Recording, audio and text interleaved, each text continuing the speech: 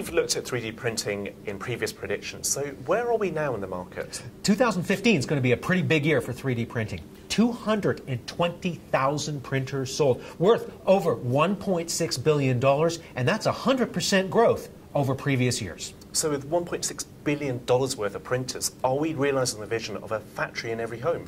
Well, there's a lot more than 220,000 homes in the world. But even leaving that aside, although 70% of the volume of printers sold will be to consumers, that's not where the money is. When you look at the dollar value of those enterprise grade 3D printers, 90% of the dollar value will come from the enterprise, 95% of the objects ever made will come from the enterprise, and 99% of the economic value of that output will come from enterprise 3D printing, not consumer.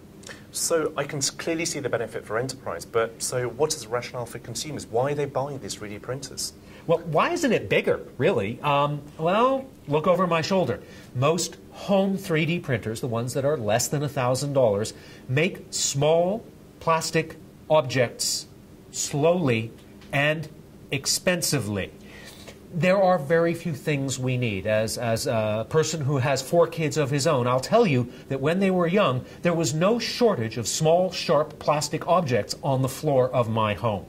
When we look at them, they are also hard to use. Only 10% of these printers are plug and play, so there's a significant effort in calibrating them and getting the temperature exactly right. And finally, most consumers aren't that interested in making these kinds of devices. Limited functionality, difficult to use. It is not yet a market that most consumers are interested in.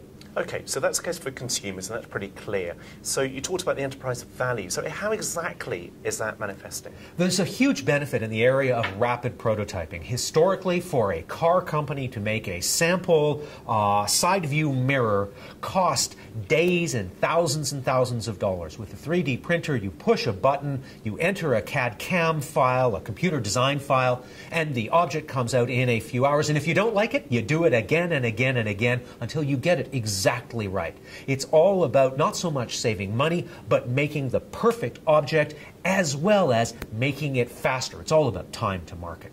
The other big use aside from prototyping is actually in the manufacture of tools, of molds, casts, dies, jigs. These kinds of objects are part of the manufacturing process. Some 3D printers are being used for final part production, but that tends to be the smaller part of the market in 2015 with less than 10% of usage.